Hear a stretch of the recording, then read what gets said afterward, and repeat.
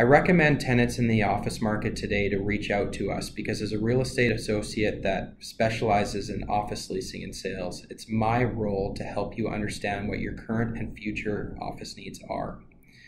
In some cases, we bring in third party professionals as well in order to do space utilization studies and designers to help you create a more efficient floor plan. This also helps to mitigate the long term risk as we'll help you design space that allows you to downsize your square footage or increase your square footage based off of your future needs with minimum effort and maximum market desirability.